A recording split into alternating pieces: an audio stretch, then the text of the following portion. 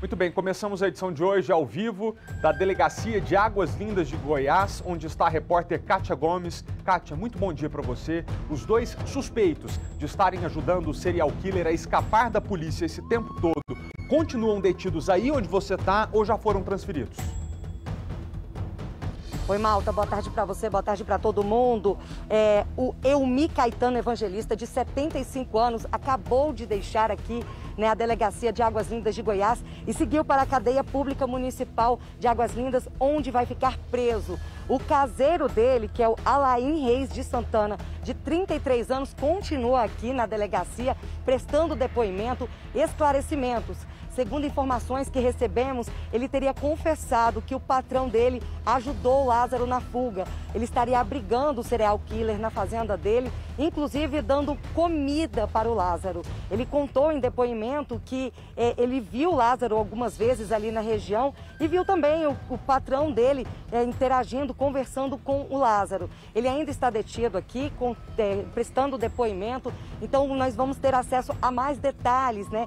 sobre essas revelações daqui a pouquinho, Malta, mas o que temos é isso, né? Ele teria realmente confessado que participou ali de alguma forma da, a, da fuga do Lázaro, principalmente o patrão dele, né? Que é o é, Elmi Caetano Evangelista, de 75 anos, que acabou de sair daqui e seguiu para a cadeia pública municipal de Águas Lindas. E lá depois ele deve passar por uma audiência de custódia, Malta. É, Kátia, uma pergunta. Você está nesse momento com o um advogado desse fazendeiro, o senhor Elmi, não é verdade? É, eu estou. Ele é advogado, na verdade, dos dois. Ele está aqui ao meu lado. É o Ilvan Barbosa. Ele está participando da defesa dos dois. Eu vou conversar aqui agora com ele, aproveitando, Malta, esse momento. É, uma boa tarde, boa tarde, Ivan. Eu queria que você me falasse em relação a esse depoimento, né? Porque o eu me nega a participação, mas já o Alain confessa que eles teriam ajudado o Lázaro. É, é o Elmi Caetano, a qual a gente está desde primeira mão fazendo a defesa, ele relata que não tem conhecimento, nunca viu Lázaro. E aí o, o, o caseiro, que é o Alail, ele traz agora, é, nesse depoimento, tal informação narrado por você agora nesse momento. Então, diante dessa informação, a gente vai, vamos agora nos dirigir ao escritório, vamos tentar entrar em contato com a comarca de Cocalzinho.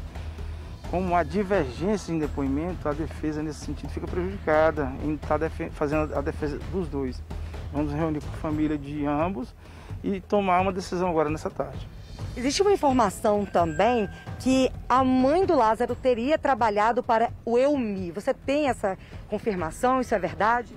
É, a mãe do Lázaro trabalhou com o patrão anterior. É, o, Elmi, é, o Elmi nega essa informação e a gente tem que escutar isso da, da mãe do Lázaro, né? A gente escutar deles e não de, de, de testemunhos é, é, desconhecidos. Entendi. Eu queria que o senhor detalhasse um pouco mais o que, que o Alain falou em depoimento. A gente sabe que ele fala que realmente o patrão teria ajudado a esconder, que ele estaria ali pelo menos cinco dias já escondido, né? O, que, que o senhor acredita que levou ele a, a confessar? Realmente teria envolvimento? Estariam ajudando Lázaro? Agora, nesse exato momento, a gente vai ter que se ater ao que está no auto de prisão em flagrante. Em razão disso, vamos analisar todo o histórico de, que foi produzido da data de ontem até o presente, presente momento. E aí nós poderemos é, mais adiante trazer é, novas informações à imprensa.